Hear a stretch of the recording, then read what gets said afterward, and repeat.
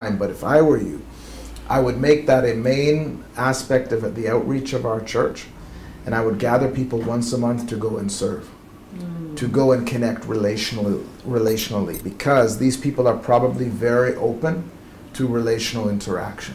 Okay. Then from there, you, you might want to have a card that has the address and everything. Mm-hmm. And you can say, like, you know, next Sunday, so say you go out once a month on a Saturday.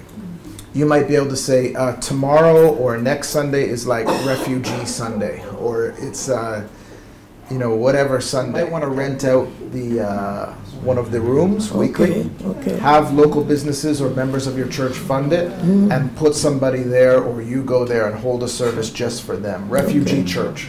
Okay, just basic basic tech okay. refugee church. That's true. And then you're there you have worship going on and mm-hmm. and make it a little different like interactive. Now we're going to have the time where everybody gets to share things they want mm-hmm. prayer for. Mm-hmm. And you have your team from the church laying hands praying with people.